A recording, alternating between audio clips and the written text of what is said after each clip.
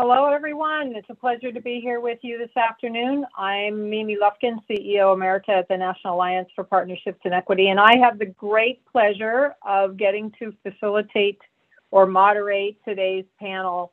Um, and I'm mostly interested in hearing from the panelists myself, so it's my intention here to get on to the, the Q&A part of this as quickly as possible. Um, but before we begin, what I'd like to do is to go ahead and have each of our panelists introduce themselves, if they would, where they're from, the role they play um, in the, um, the Charleston Regional Youth Apprenticeship Program. And maybe they could tell us one thing in one sentence that you love the most about the youth apprenticeship work that you're doing. All right, so I'm going to start with Sonya. Why don't we start with you? Good afternoon. I'm Sonya Addison Stewart, and I'm the Career and Technical Education Director for Berkeley County School District. And I work with the apprenticeship program um, as far as encouraging students to participate and also, um, you know, creating a seamless pathway between our programs and opportunities that the students have in the youth apprenticeship program. Um, and you said one thing I love about the apprenticeship program? One thing I love about it is that, you know, I was on a panel earlier and I've seen the panels of um, the students that participate in the apprenticeship program. It's just the growth and development that I see in these students, um, how they have just grasped the skills that our employers are desperately saying um, that they need to see. And so to see these students actually practicing and practicing effective communication and understanding those work and life skills is gratifying to me. Thank you, Sonya. Mark, how about you? Good afternoon, everybody. My name is Mark Blacklocke. I work for Dorchester School District 2. I'm the Career and Technology Coordinator. Um, and like Ms. Um, Stewart, I work with recruiting kids for um, the uh, Youth Apprenticeship Program. And I think the biggest thing for me is just the um, quite honestly, the surprise that a lot of kids have of how great the program is, you know, even their parents and the opportunity they're provided. Um, and then as it transitions into the program, um, just all the different skill sets that they learn, soft skills, technical skills, um, and how prepared they are once they complete the program uh, for direct employment, um, along with all the, uh, you know, benefits of, you know, getting potentially some college paid for and some you know, work experience and different things. I, I think overall it's just a great opportunity and um, yeah, I just enjoy working with it and the students. Great. Thanks, Mark. We'll jump to Robert next. Hello, everyone. My name is Robert Elliott, and I'm the Dean of Manufacturing and Maintenance at Trident Technical College.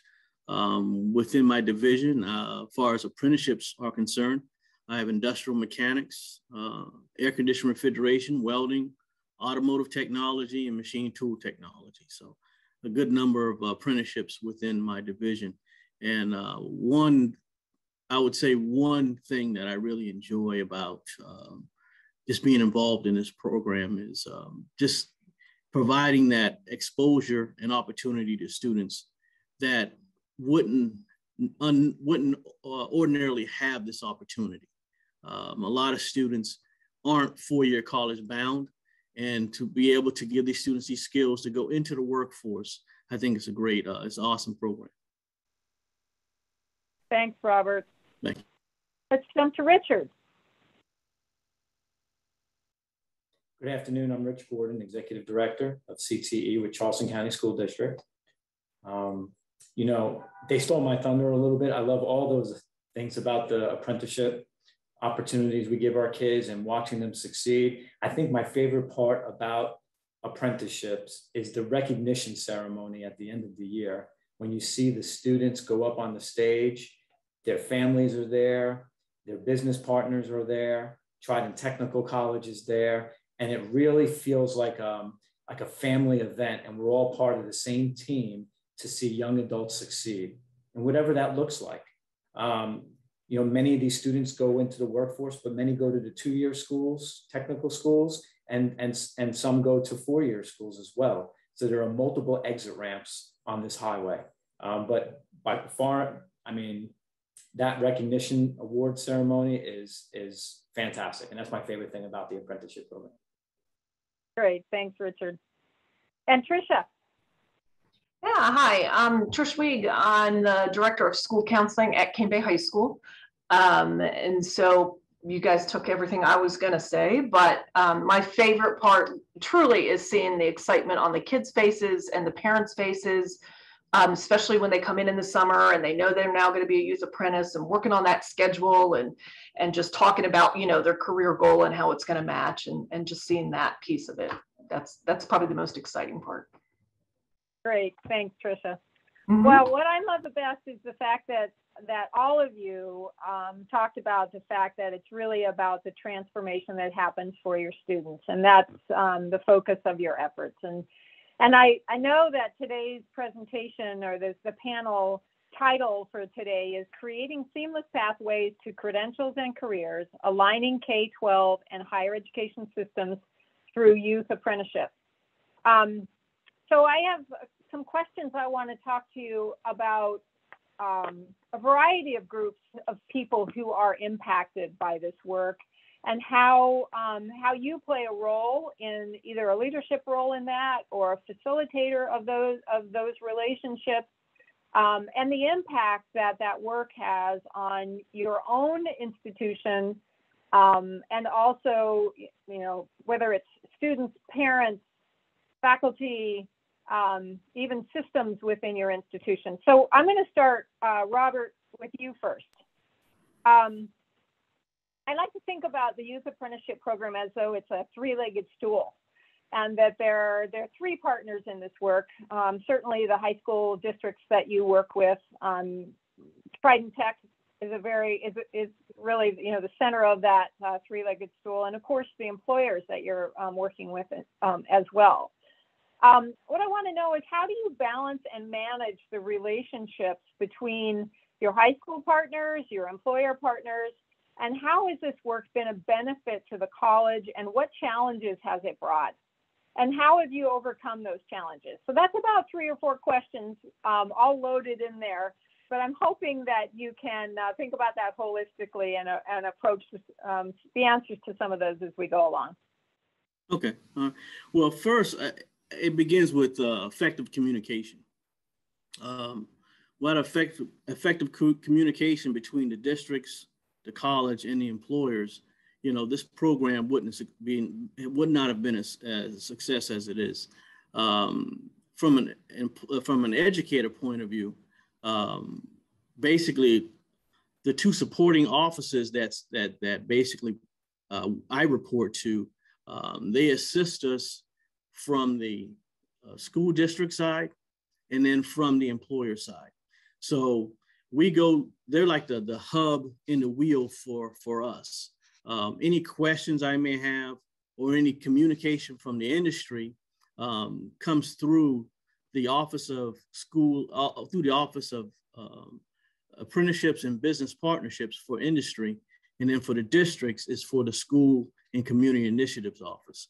So as the educator side, you know, they communicate a lot with us about what the needs are, as far as industry and as well as the districts. And that's that's the balance um, I think that works um, between everyone. You know, that effective communication. And you said three-legged stool and um, uh, critical to success. Um, yeah. So, what are some of the challenges that that you've experienced, and and how you know how have you overcome those? Well, um, some of the challenges in the beginning was scheduling, um, trying to schedule the students' uh, high school schedules along with the college schedules. Um, but that has since been ironed out and and and pretty much flows very smoothly um, right now. Um, in the beginning, that's where it was. But other than that, there's really it, it's not much of a challenge out there for any student um, looking to get into this program. And you spoke about uh, benefits. Um, I think the greatest benefit um, is that the college has the opportunity to work closer with the school districts and industry partners. All, all of us are working closely together to benefit these students, um, to impact our community.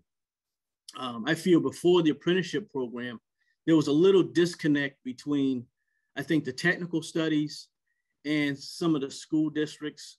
Um, the technical side, we already had a relationship with our industry partners, but didn't really have that strong partnership with the uh, schools, the school districts.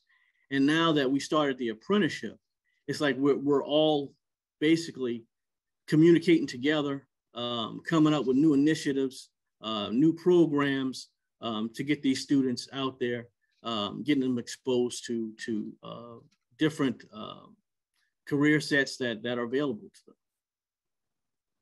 And you said overcome challenges. That was the last one, I believe. Yep. Um, basically, I said it was it was just um, scheduling, and I think we have that pretty much uh, down now. So now it's just the program just runs pretty much seamlessly and smoothly. That's great. Great. Thanks, Robert. Um, Richard, I'm going to jump to you uh, next. I I want I want to sort of play off of something that Robert mentioned, which was how um, the startup of this um, the youth apprenticeship work has impacted. It sounds like it's impacted college in terms of growing new programs and new initiatives and sort of the, the spin-offs that have occurred from that work. I'm curious how becoming a partner in um, in the Charleston Regional Youth Apprenticeship Program has impacted even systems in your um, district or programs as well. And um, has the experience of doing this work caused you to look differently at the way you operate other CTE programs um, in the district? What what's sort of been the spillover of the this effort? Well, it has significantly impacted the systems. Um, I think regionally and and specifically also in Charleston County School District as well. Um, as you can imagine, the youth apprenticeship model or that program is you can say the pinnacle of what work-based learning experiences can be. Um, you know, if you look at the continuum of, of career awareness when the kids start in elementary school, uh, maybe they have guest speakers or a job shadowing event, uh, maybe some career fairs, even elementary into middle school. Summer career camps is, uh, is popular, where kids get from career awareness to exploration. And then finally in high school, we look at career preparation.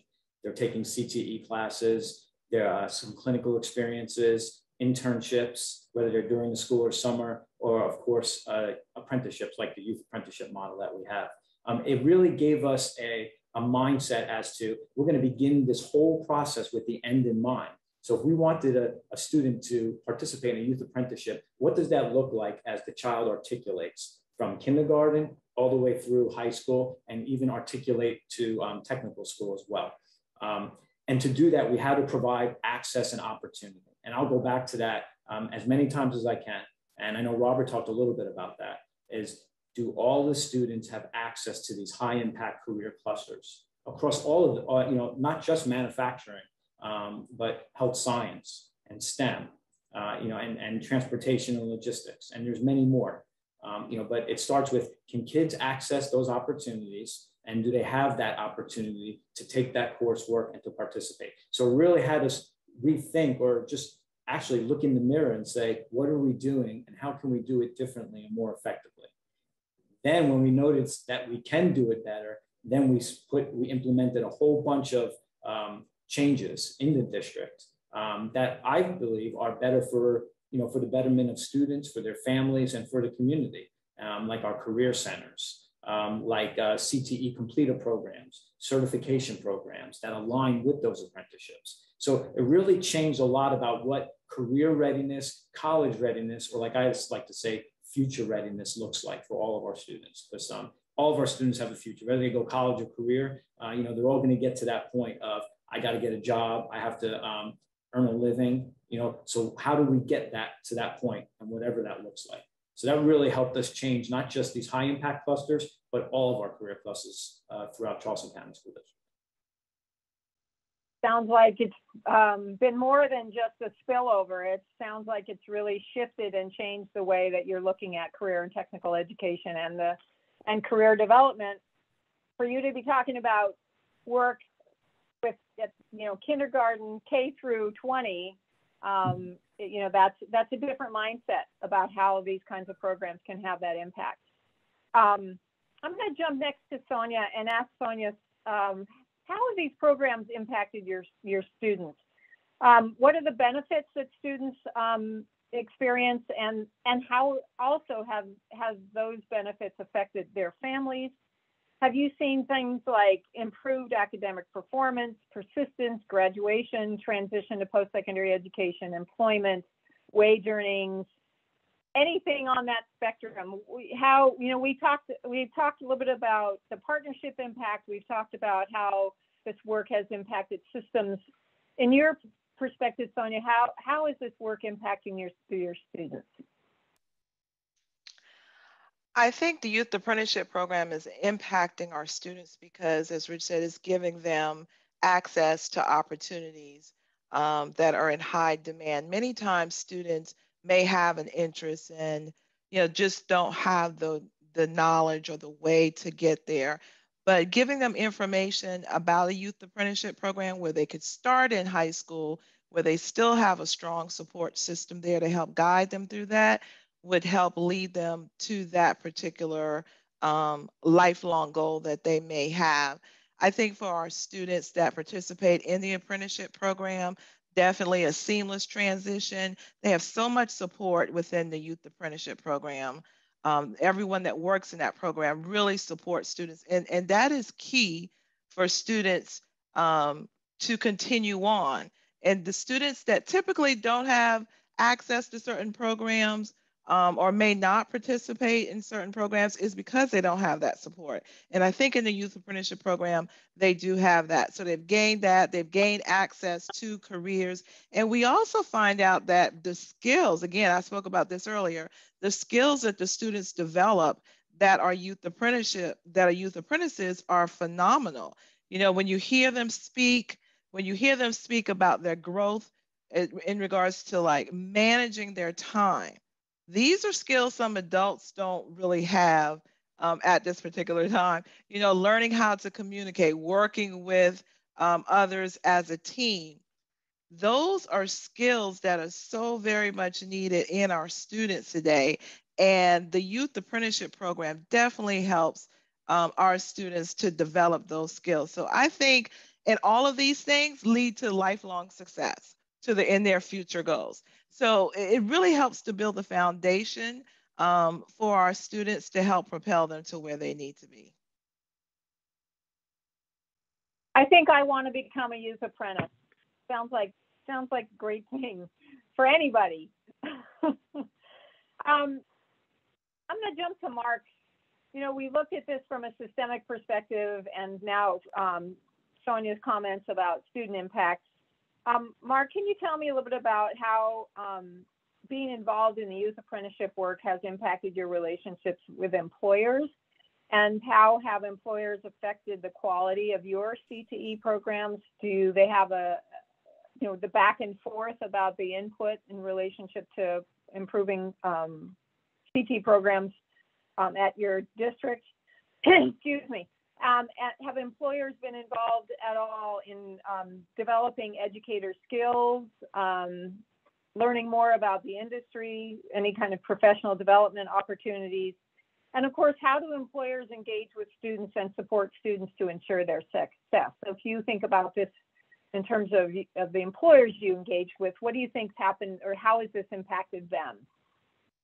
Sure. Um, I think you know, from the onset, it strengthened our, our partnerships with our local businesses and industries, um, no doubt. Uh, you, you have these partnerships that you've already developed um, district-wide, school-wide, you know, throughout the region.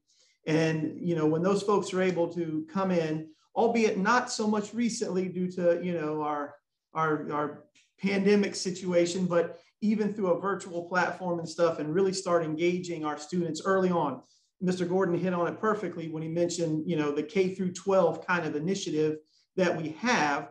Um, you, know, you have your, your elementary students really just becoming aware, your middle school students um, really trying to explore. And then at the high school level, when, when we implement these um, these different programs to work-based learning, especially the youth apprenticeship program, that's, you know, you, are hoping that you've got a, a, a, student that's been exposed and, and been interested in a particular pathway for their entire educational career.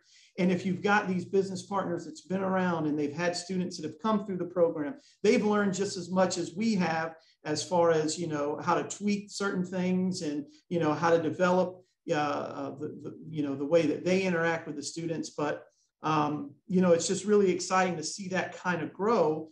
And, you know, you mentioned as far as, you know, professional development, not necessarily on a technical kind of official global effort, but you do see teachers and programs reaching out to those partners that, especially ones that are new, that have come in and, and maybe weren't, you know, a, a business partner that we had, um, you know, for a long-standing relationship, but a new partner that joined um, because they had, you know, they were interested in becoming a um, uh, part of the part of the apprenticeship program and working with our teachers to, to help kind of um, cultivate and, and fine tune some of the, the skill sets that we teach in our in our courses.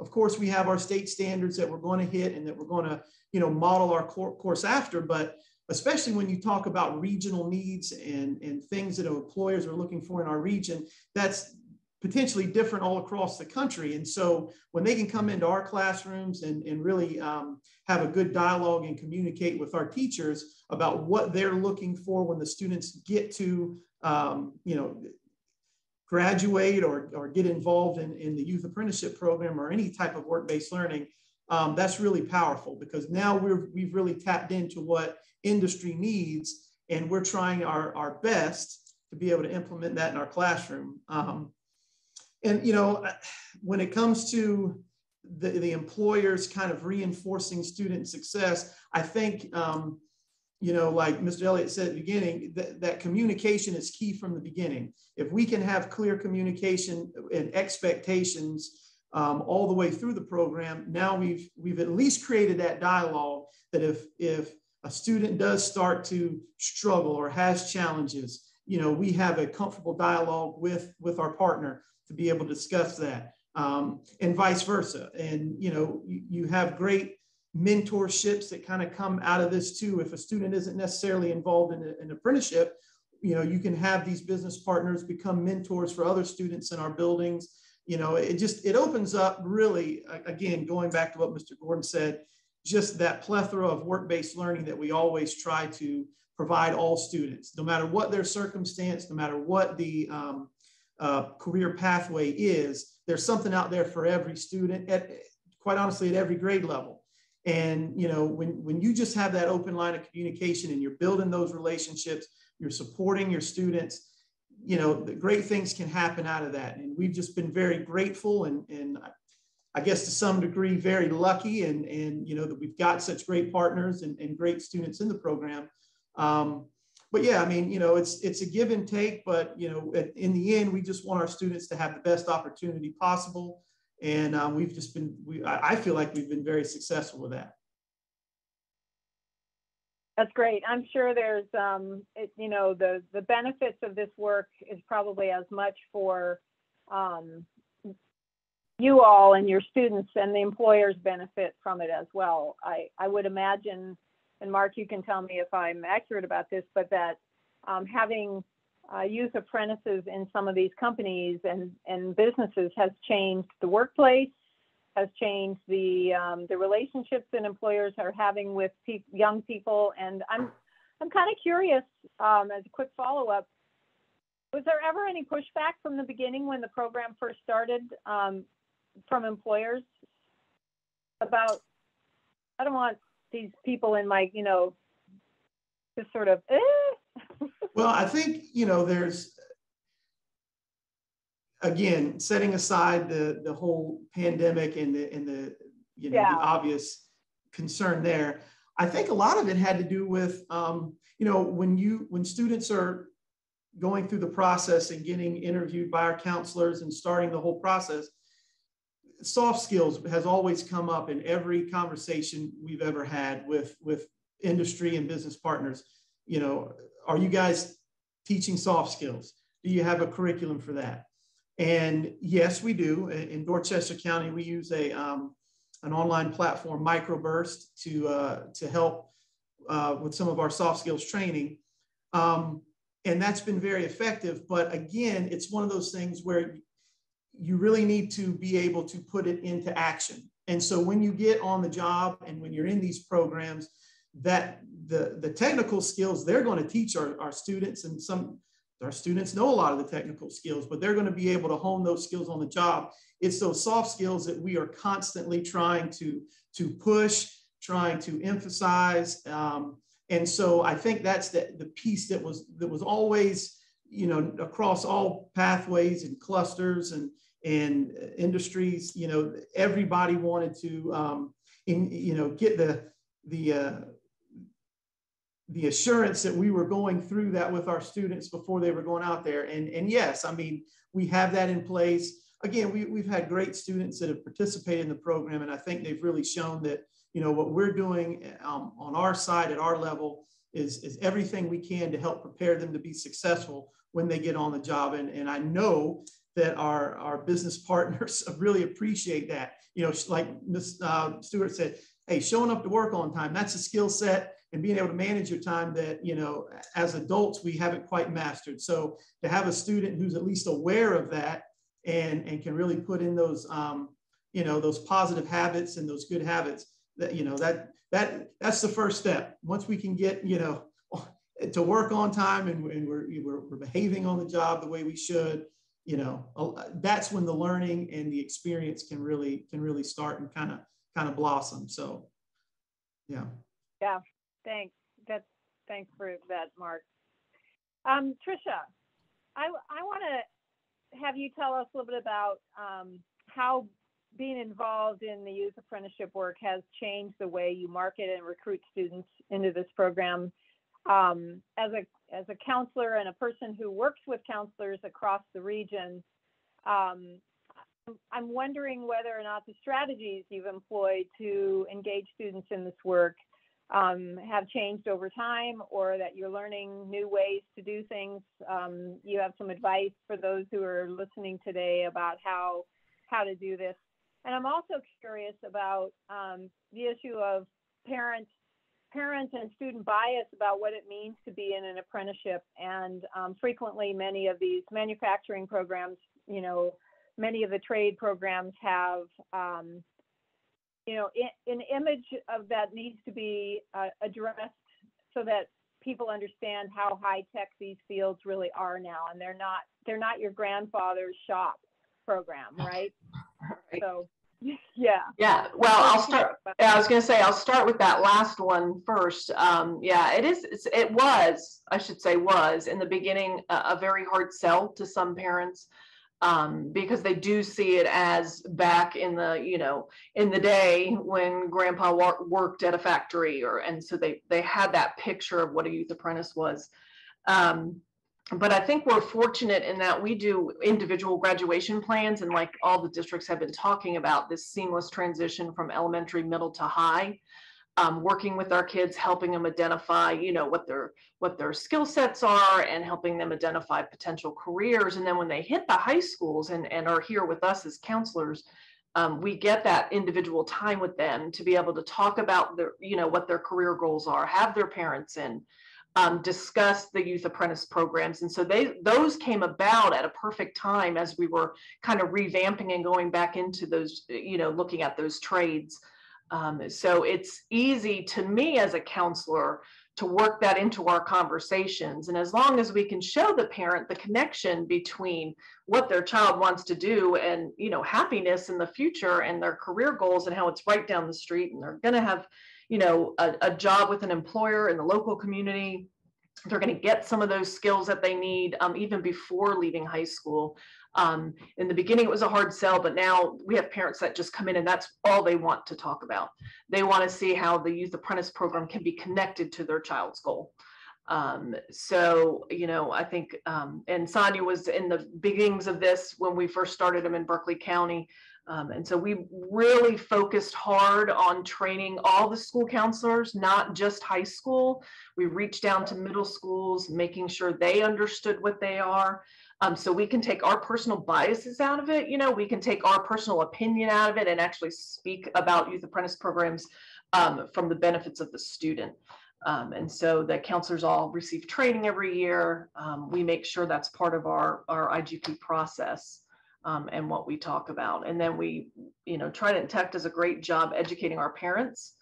Um, they do yearly meetings with our parents. We push that information out. We have parents calling in August to know when is, you know, when is the youth apprentice meeting. Um, so we can go down to Trident and, and visit with the employers and hear more about the programs directly from Trident. So do you, would you say that over time, the strategies that you've used to do outreach to youth, youth in, in this program, have, have you used some sort of non-traditional um, resources to get to, to students in, who are in communities that, um, that may not necessarily have access to this, this effort or may not be as well informed? Do you find that a challenge um, yeah, and well, I- yeah, I, kind of open that to everybody. If anybody else, Yeah. Tricia can address this first, but maybe everyone else can think about this a little bit. yeah, I, we find it a challenge. I know in Berkeley County, we're such a large county and some of our high schools are so far from Trident Tech and transportation's an issue, but you know, we've been working through all of those issues and all those concerns to try to help, you know, get those students there. Um, so I think just, you know, I think we've done, we, we've just honed in on the conversations with our parents um, and actually making our IGP meetings purposeful. Um, more so, and those are our individual graduation plan meetings than just checking a box with a parent. Um, so we make sure we have enough time, especially with 10th graders, um, because that's the year we're really talking about them, really recruiting and trying to get them in AccuPlacer and all the testing that required, you know, that's required for it and laying out their coursework. Um, so if, if, you know, the biggest challenge I know in Berkeley County we've had is the transportation issue. Um, if we can jump that hurdle, then, then, you know, we do so much better with some of those kids. So can anyone in the group um, give some examples of ways in which you have jumped that hurdle? Are there some um, avenues that you've used to try to provide, whether it's transportation or other barriers that students might face to accessing the program, how you've um, addressed those? I, I would say in regards to, to transportation, I think um, when the apprenticeship allowed students that um, were graduating to participate, opened up doors for more students to live out in the rural areas to participate. Um, my son is a youth apprentice. We live, you know, in a rural area, St. Stephen, which is, is a good little ways away, and understanding that he would need to do high school and travel to Trident even though he had transportation, it would have been a bit of a challenge. So we knew that if he had this opportunity, you know, when he graduated, it probably would be a little bit easier um, for him. Also, with the program and them reaching out to find employers even closer to some of our areas has been very beneficial. Um, so students may not have to travel as far to work if they live out in a rural area. So that has been really beneficial, trying to hone in on some additional employers that are closer to where those students live who are out in the rural areas.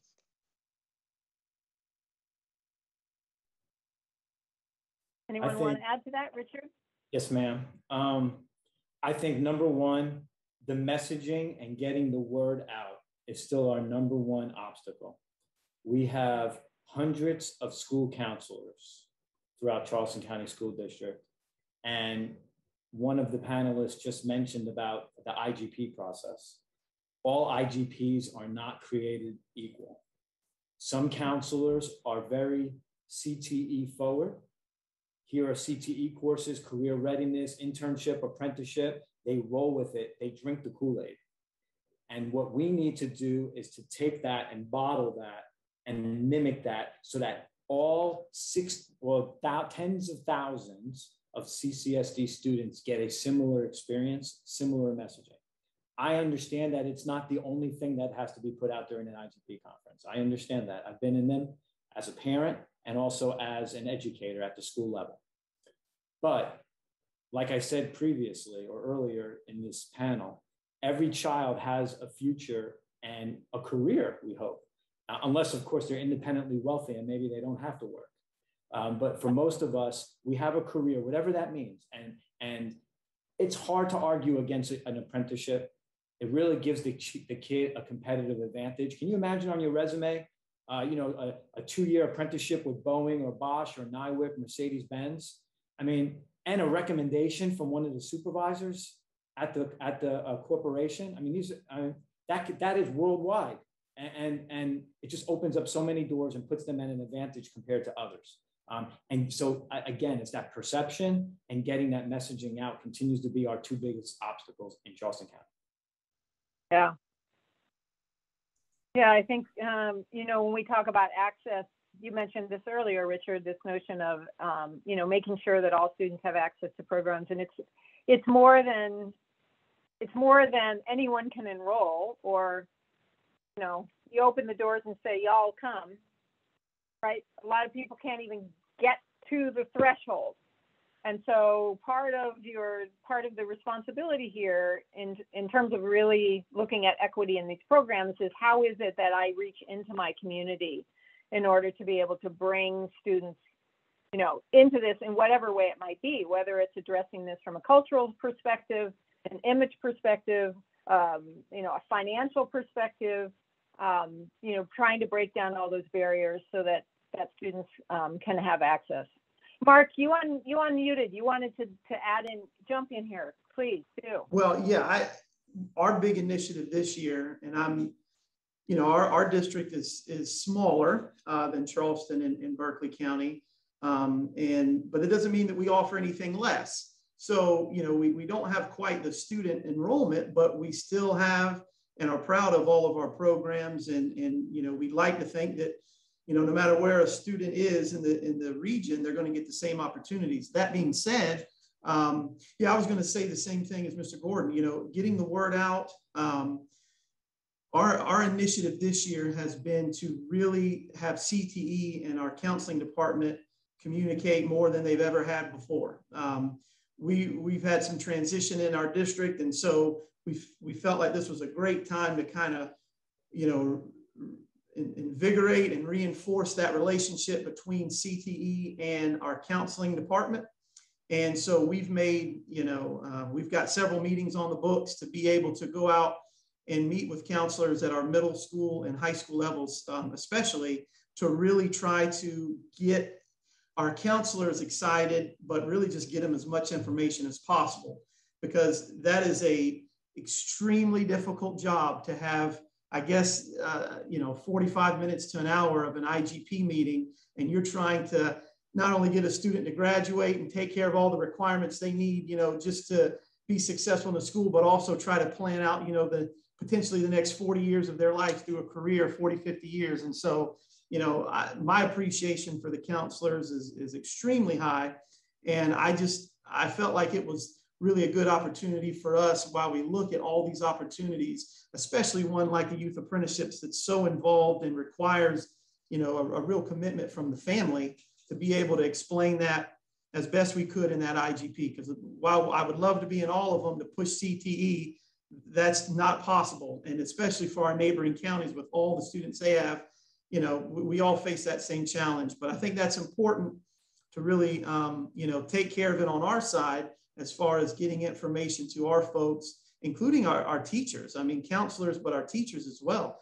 You know, they need to be as informed as they can, especially in their particular area uh, and pathway, um, and have conversations with their um, business partners in their pathway you know, reach out, talk, talk to them. If, if, if you don't have a, a, business partner that, you know, is, as engaged as you feel, you know, as a teacher, go out there and, and start those, those conversations. And that's what we're here for is to really help with those and, and to be able to, um, you know, answer any questions that they may have from that side as well. Robert, I wanted to ask you a little bit about, um, and, and maybe your, you know, all your secondary partners here can address this um, as well, is the challenges around articulation um, across systems. Um, you know, I have to, I'm, I'm looking back again at the title of today's panel, and I want to make sure that we at least address this question um, somewhere in this conversation, which I think we are in many ways. But this notion of alignment between all of the systems in order to, um, one, make sure that students have a seamless path through the program to employment. And you all have done some, what I consider to be some pretty amazing and creative things in order to make that happen. Um, Robert, you know, maybe you can talk a bit about from the from the college's perspective, what's that what what does that look like? How how has that been for you? And and maybe some advice to folks about how to make that happen.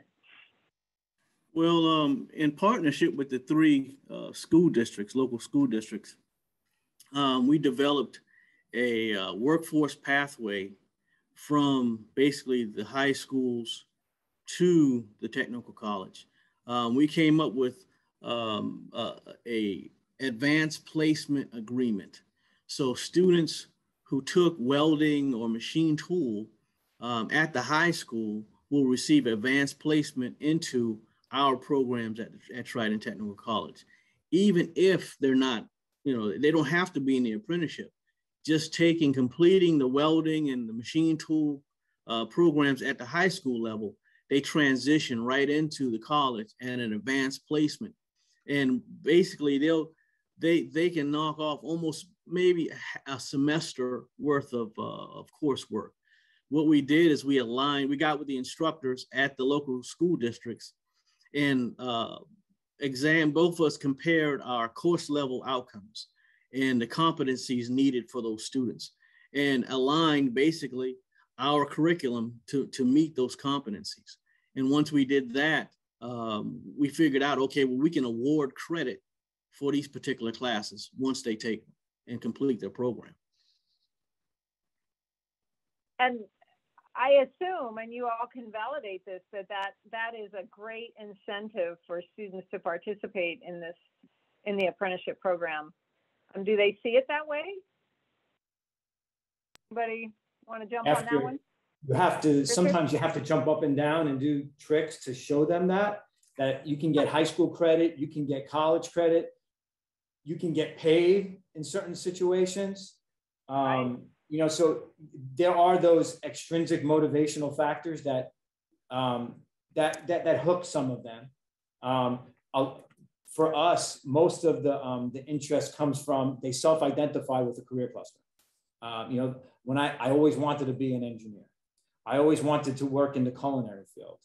Um, you know, I always wanted to be a nurse. Uh, you know, and and and like we talked about starting at an early age you know when they first learned about occupations maybe they thought their teacher was the only job that there was on planet earth because that's who they saw every day. Or you know yeah. maybe your mom or dad did or perhaps they know fireman and policeman you know because of the uniforms. So at early ages they're learning those those um the, the career awareness. That's what we call that. Um, but for us it's mostly yes they, that is a hook but they they have to kind it's in the heart that really gets them to and their parents too. It's, it has their parents have to believe it. Uh, you have to hit their heart before you can hit their mind. So if you can convince the parents and the kids, um, it goes from there. Yeah, I, I was going to say, I was going to follow up with you, Richard. Um, it's selling it to the parents. I, I, know we as counselors, that's been um, that's been the probably one of the bigger hurdles was just helping those parents understand that um, because your child's choosing to go through a youth apprentice doesn't mean that later on in life they may not change path and go somewhere else. But getting the parents, um, if we can get the parents to believe in it, then um, you know it's it's an easy sell to me, or at least in this school to our kids. Um, it's usually the parent that gets the you know that has more questions and a little hesitant and well they were going to go to clemson or they were going to go to you know and so it's that sell it's that sell to the parents that's the hardest yeah. And you can still go to Clemson or USC or, right. or Georgia Tech, even with an apprenticeship. In fact, right. I, I would argue right. it makes your application a, a stronger application when you have those experiences. I agree. So are any of you doing anything in particular to encourage um, non-traditional students to access the youth apprenticeship programs, like, for example, um, young men in your healthcare programs or women in your advanced tech, tech programs or the manufacturing areas? I mean, I've visited churches. Um, I go to career day uh, events before prior to COVID, but um, just trying to get the word out, you know. Um, and believe it or not, some parents and kids still aren't aware of it, um, but just trying to get that word out. Like I say, I, I, I sing the praises all the time of the program. Yeah. Do any of you use, and maybe that's not the right term I should use, um, have your students um, represent the program in you know whether it's your high school students go down in the elementary school and and visit with with other kids and talk about what they're doing or show them what they're doing do you do do you use the students who are in the program eh, to represent and and promote the programs as well we we typically have students that will serve on panels or do different mm-hmm. activities mm-hmm. we will bring in students that are going straight through the cte programs we'll bring in students that are doing apprenticeship programs and to really to speak to younger students they participate in career fairs or career days at the middle school because we found that you know the younger students really look up to the students that are in high school um, and listen to what they're saying so we have youth students yeah. in those capacities yeah you know student voice is an incredibly powerful thing um, you know peer peer to peer um, guidance counseling almost uh, can have big effects. But we're, we're getting close to the end here. And so, what I'd like to do, we have about three minutes left, is for each of you to, um, like we did at the start, I asked you to tell me one thing you loved about the youth apprenticeship work that you're doing. Um, I'm going to ask each of you, if you would, to share one thing, one one piece of advice out there to to the folks who are joining us today or who may watch this um, recording in the future about things to keep in mind um, if they're going to launch a youth apprenticeship program in their community or to join yours in the in your region. So I'll start with Robert. We'll start with you. Um, if if different regions wants to, you know, if they're going to start a youth apprenticeship program, I would say uh, go to your industry, lean on your industry, uh, find those skill skills gaps that are there. Um, tailor it around your industry and let that be the focus. Um, it has to be industry led um, because at the end of the day, those students have to go into that workforce. So find what's needed in the community. Thanks, Robert. So Mark, how about you? And we have a little longer than I said. I apologize. I was jumping the gun a little bit. So um, Mark, go ahead. Um, I, of course, I agree with Mr. Elliott. You know, you want to start with your, your industry partners, but I, I want to go back to just keep working on getting the word out and the education of our of, of the program to our parents. Again, I think the quickest way is through an IGP, um, uh, but you're only hitting one family at a time. Uh, so you know, be creative in how you promote it. Um, again, we start as, as as early as middle school talking about you know really our our work-based learning experiences that are that are very exploratory and this falls right in line i mean trident tech last summer had a great opportunity for a pre-apprenticeship program through culinary and i think that was a fantastic opportunity because now you're, you're hitting students in the eighth ninth grade and they're seeing you know some of the advantages of that and really just getting hands-on um, you know being a part of it you can see it and then you can you know you can see yourself there so just be creative on how you get the word out. Um, but yes, I, I, agree with everybody. You know, the, the selling of the program um, to parents and to students and getting that family buy-in. And then now the students have that support, not only, you know, the drive, but they have that support from their family uh, is huge. Sonya? I think our um, regional youth apprenticeship program is very successful from its inception. It has been successful since its inception because all the parties work together to make it happen. You had the employers, you had the K 12 partners, and the post secondary partners. And we all worked together from the beginning to develop and to devise this program.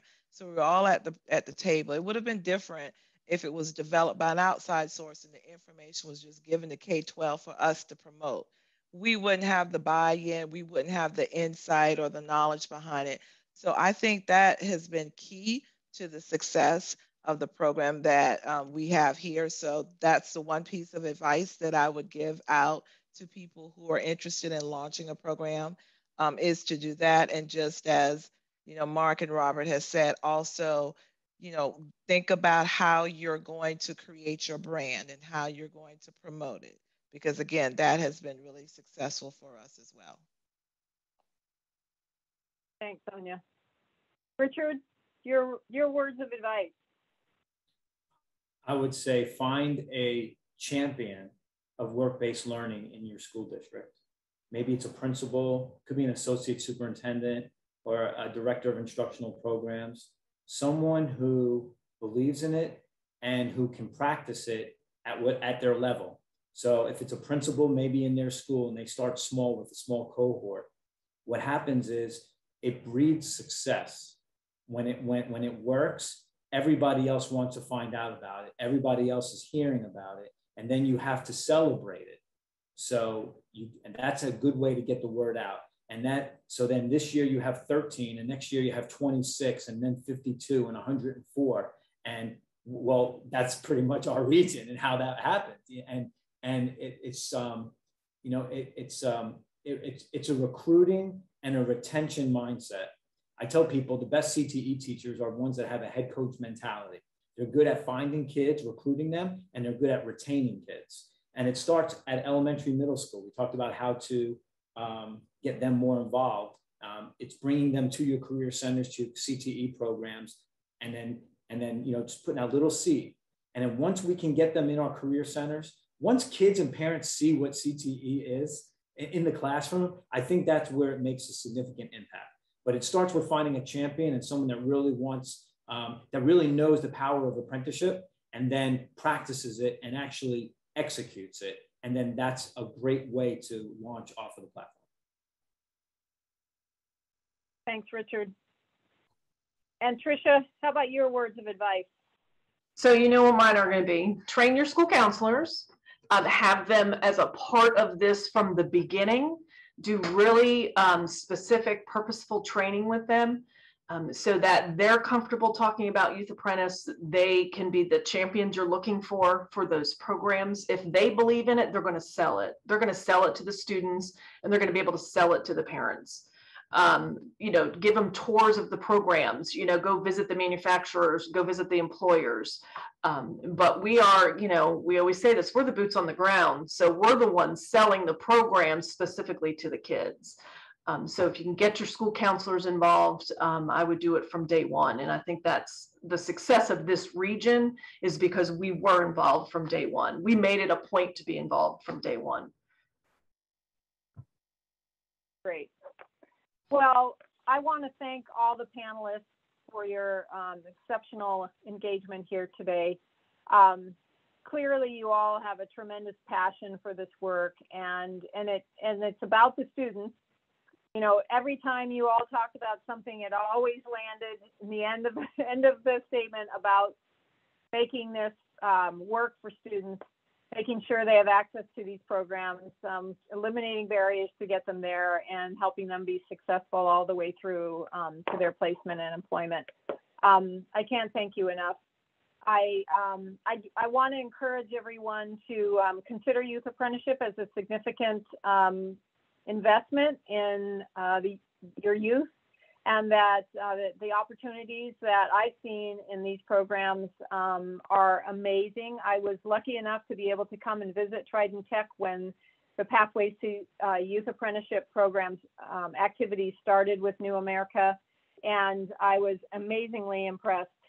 Um, I would also, I, I, I would be remiss if I didn't encourage you to go check out our website at napequity.org. We have a great initiative we're doing around women in manufacturing lots of good resources for educators, uh, recruitment videos and posters and all kinds of strategy documents.